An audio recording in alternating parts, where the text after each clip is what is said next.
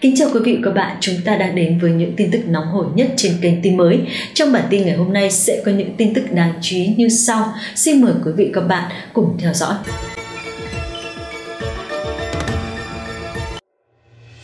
Cần cấm người dân ra đường khi siêu bão Noru chuẩn bị đổ bộ.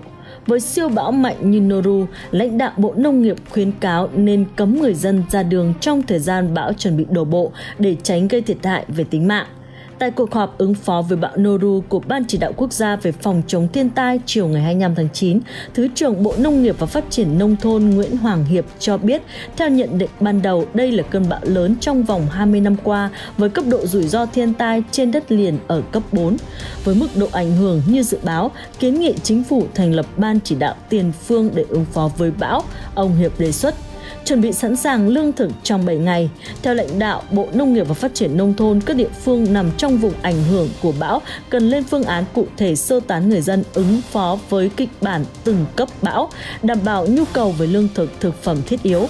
Nếu bão mạnh đến cấp 13 trên đất liền, tập trung người dân ở trường học chưa chắc đã an toàn. Vì vậy, cấp cơ sở cần ra soát kỹ nơi tránh trú đảm bảo trên địa bàn. Ông Hiệp khuyến cáo, bên cạnh việc cấm biển, ông Hiệp đề nghị địa phương xem xét cấm đường ở những khu vực bão đổ bộ vì những khu vực này khi có mưa lớn, đường quốc lộ, đường sắt gần như bị ngập lụt. Thứ trưởng Bộ Nông nghiệp và Phát triển Nông thôn cũng cho rằng với cơn bão mạnh như Noru nên cấm người dân ra đường trong thời gian bão chuẩn bị đổ bộ để tránh gây thiệt hại về tính mạng người dân khi gió giật sập các biển quảng cáo mái tôn. Đồng thời với những cơn bão mạnh đến cấp 13, kinh nghiệm cho thấy chắc chắn sẽ gây chia cắt đường đi, liên lạc Do vậy, lực lượng tại chỗ cần chủ động sẵn sàng trang bị phương tiện, lương thực thực phẩm, thuốc men tối thiểu đủ dùng trong 7 ngày, Thứ trưởng Nguyễn Hoàng Hiệp đề xuất. Bão cấp 13 có thể thổi bay nhà cấp 4. Kết luận cuộc họp, Phó Thủ tướng Lê Văn Thành nhận định Noru là cơn bão lớn nhất trong 5 năm trở lại đây có thể ảnh hưởng đến miền Trung. Như nhận định, với diễn biến bão di chuyển nhanh và cường độ mạnh đến cấp 13 trên đất liền thì có thể làm sập, thổi bay nhà cấp 4, làm nguy hiểm đến tính mạng người dân. Do đó, địa phương cần khảo sát để tính phương án di chuyển người dân đến nơi an toàn, theo yêu cầu của Phó Thủ tướng. Ngoài ra, cơ quan khí tượng cần tham khảo các mô hình dự báo quốc tế để cập nhật, đưa ra dự báo về mức độ ảnh hưởng trực tiếp của cơn bão này đến đất liền. Về đề xuất thành lập ban chỉ đạo tiền phương ứng phó bão, Phó Thủ tướng yêu cầu đơn vị chức năng sớm gửi hồ sơ bao gồm các đề xuất về thành phần, địa điểm đặt trụ sở để Thủ tướng phê duyệt chậm nhất trong trưa mai 26 tháng 9. Ngoài ra, Phó Thủ tướng quán triệt các địa phương dự báo nằm trong vùng ảnh hưởng của bão tạm dừng hoặc hoãn một số cuộc họp không thực sự cần thiết để tập trung chỉ đạo ứng phó.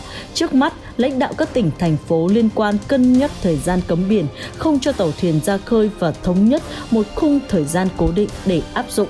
Phó Thủ tướng đề nghị thời gian cấm biển có thể vào 6 giờ sáng ngày 26 tháng 9. Theo số liệu báo cáo, hiện còn hơn 900 tàu vận tải hàng hóa, 551 phương tiện thủy nội địa ven biển Do đó, lãnh đạo chính phủ đề nghị Bộ Quốc phòng, Bộ Giao thông Vận tải phối hợp có phương án giả soát đưa tàu về, đảm bảo an toàn, tránh tình trạng về bờ rồi vẫn bị lật thuyền. Theo ông Trần Hồng Thái, Tổng cục trưởng Tổng cục Khí tượng Thủy văn, trước khi đổ bộ Philippines, bão đạt sức gió mạnh cấp 16, giật cấp 17 và ở cấp siêu bão. Sau khi vào đất liền, bão giảm 1 đến 2 cấp do ma sát với địa hình. Dù vậy, sau khi vào Biển Đông, hình thái này được dự báo mạnh trở lại và mạnh nhất ở thời điểm đi qua vùng biển phía nam quần đảo Hoàng Sa. Lúc này, sức gió mạnh nhất tới cấp 13-14, giật cấp 16. Khi vào vùng biển gần bờ, cường độ bão duy trì sức gió mạnh cấp 13 và có thể ảnh hưởng đến đất liền ở khoảng cấp 12-13, giật cấp 14. Ông Thái thông tin và cho biết đây là dự báo là một trong những cơn bão mạnh nhất trong vòng 20 năm trở lại đây ảnh hưởng đến Trung Trung Bộ. Trước mắt các tỉnh từ Quảng Bình đến Bình Thuận ra soát phương án sơ tán dân với tổng số gần 214.000 hộ, tương đương trên 868.000 người. Trong đó, địa phương trọng tâm dự kiến bão đổ bộ từ Thừa Thiên Huế đến Quảng Ngãi sẵn sàng phương án sơ tán trên 93.000 hộ với khoảng 369.000 người tùy theo diễn biến của bão. Bão Noru có khả năng mạnh lên khi vào Biển Đông. Theo Trung tâm Dự báo Khí tượng Thủy văn Quốc gia, trong 24 giờ tới, bão Noru đi vào Biển Đông và sau đó có xu hướng mạnh lên. Theo Trung tâm Dự báo Khí tượng Thủy văn Quốc gia, hồi 19 giờ ngày 25 tháng 9, vị trí tâm bão ở vào khoảng 15,1 độ Vĩ Bắc, 121,6 độ Kinh Đông trên khu vực phía đông nam đảo Luzon, Philippines. Sức gió mạnh nhất vùng gần tâm bão mạnh cấp 13, 14 tức là từ 134 đến 166 km một giờ giật cấp 16. Đến 19 giờ ngày 26 tháng 9, vị trí tâm bão ở vào khoảng 16 độ vĩ Bắc, 116,7 độ Kinh Đông, cách quần đảo Hoàng Sa khoảng 460 km về phía đông, sức gió mạnh nhất vùng gần tâm bão mạnh cấp 13, từ 134 đến 149 km một giờ, giật cấp 16. Vùng nguy hiểm trên biển Đông trong 24 giờ tới, gió mạnh từ cấp 6 trở lên, giật từ cấp 8 trở lên, từ vị tuyến 12,5 đến 20,0 độ vĩ Bắc, phía đông kinh tuyến 113,0 độ kinh Đông. Toàn bộ tàu thuyền hoạt động trong vùng nguy hiểm đều có nguy cơ cao chịu tác động của gió mạnh, sóng lớn và lốc xoáy. Trong 24 đến 48 giờ tiếp theo, bão di chuyển chủ yếu theo hướng Tây, mỗi giờ đi được 20 đến 25 km và có xu hướng mạnh lên. Đến 19 giờ ngày 27 tháng 9, vị trí tâm bão ở vào khoảng 15,8 độ Vĩ Bắc, 111,6 độ Kinh Đông trên vùng biển phía Tây Nam quần đảo Hoàng Sa, cách đất liền Đà Nẵng, Bình Định khoảng 300 km về phía đông. Sức gió mạnh nhất vùng gần tâm bão mạnh cấp 13, 14, từ 134 đến 166 km một giờ, giật cấp 17. Vùng nguy hiểm trên biển trong 24 đến 48 giờ tiếp theo, gió mạnh từ cấp 6 trở lên, giật từ cấp 8 trở lên, từ vị tuyến 12,0 đến 20,0 độ vĩ Bắc, phía đông kinh tuyến 107,0 độ kinh đông. Toàn bộ tàu thuyền hoạt động trong vùng nguy hiểm đều có nguy cơ cao chịu tác động của gió mạnh, sóng lớn và lốc xoáy, cấp độ rủi ro thiên tai cấp 3, trong 48 đến 72 giờ tiếp theo, bão di chuyển chủ yếu theo hướng Tây, mỗi giờ đi được khoảng 20 đến 25 km đi vào đất liền khu vực Trung Trung Bộ. Đến 19 giờ ngày 28 tháng 9, vị trí tâm bão ở vào khoảng 15,8 độ Vĩ Bắc, 106,9 độ Kinh Đông trên khu vực biên giới Việt Nam Lào. Sức gió mạnh nhất vùng gần tâm bão mạnh cấp 8, từ 62 đến 74 km h giật cấp 10. Do ảnh hưởng của bão, ở vùng biển phía đông khu vực Bắc và giữa Biển Đông có gió mạnh dần lên cấp 8, cấp 9, sau tăng lên cấp 10, 11.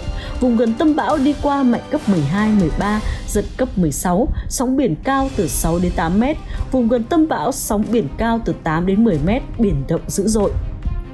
Trong 72 giờ đến 96 giờ tiếp theo, bão di chuyển chủ yếu theo hướng Tây với tốc độ 20 đến 25 km một giờ, cường độ suy yếu dần.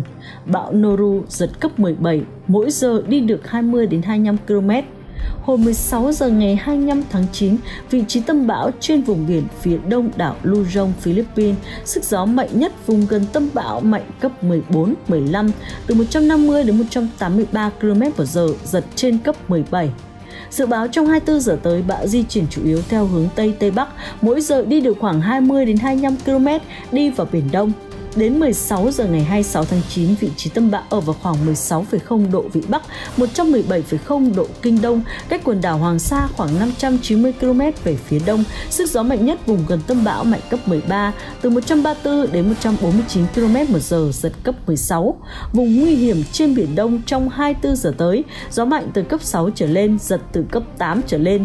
Từ vị tuyến 12,5 đến 20,0 độ Vĩ Bắc, phía đông kinh tuyến 113,5 độ Kinh Đông Đông, toàn bộ tàu thuyền hoạt động trong vùng nguy hiểm đều có nguy cơ cao chịu tác động của gió mạnh, sóng lớn và lốc xoáy, cấp độ rủi ro thiên tai cấp 3. Trong 24 đến 48 giờ tiếp theo, bão di chuyển chủ yếu theo hướng Tây, mỗi giờ đi được khoảng 20 đến 25 km và có xu hướng mạnh lên.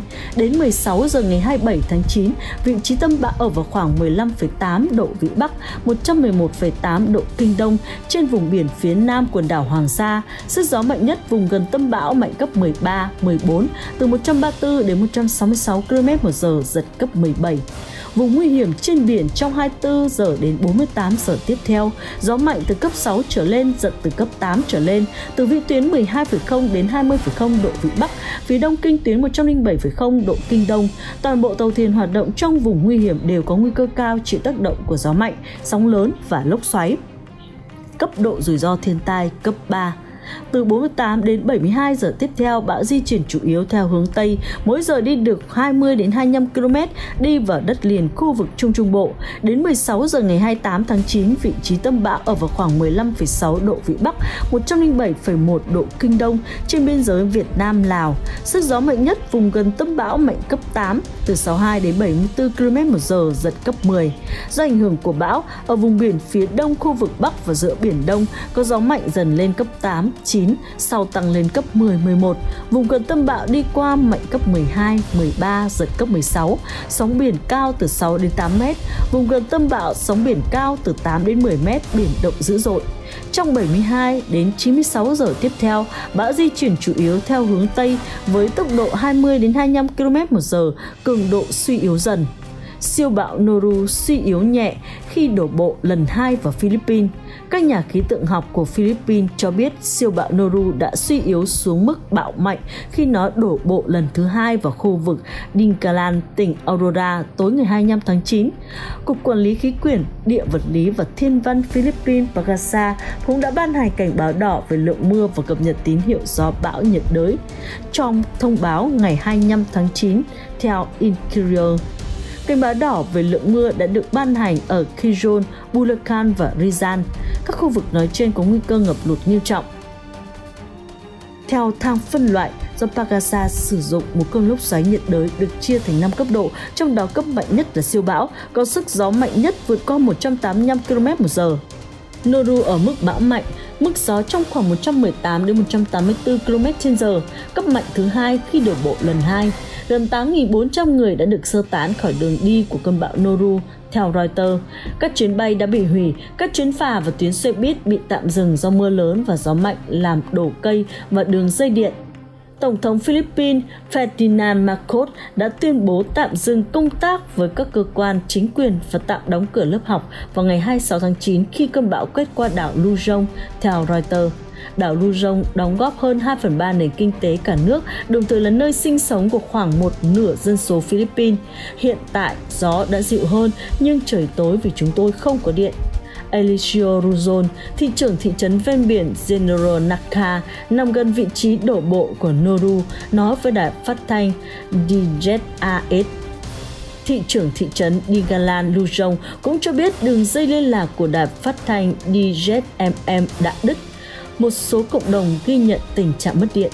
Siêu bão Noru đổ bộ lần đầu vào Philippines vào chiều ngày 25 tháng 9, đem gió mạnh và mưa lớn tới hòn đảo Luzon đông dân. Cơ quan khí tượng của nước này cho biết cơn bão dự kiến gây lụt và phá hoại mùa màng.